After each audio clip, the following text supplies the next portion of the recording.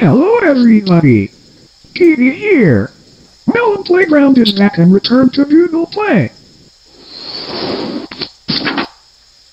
According to the creator of Melon Playground, he logged in back to his account. Recently, his account was deleted by mistake, and he doesn't want you people to delete the game. But, it all faded away. There are two Melon Playground apps. One, Fake Melon Playground, that the icon was like that before the game got deleted. 2. There's a real and true Melon Playground app.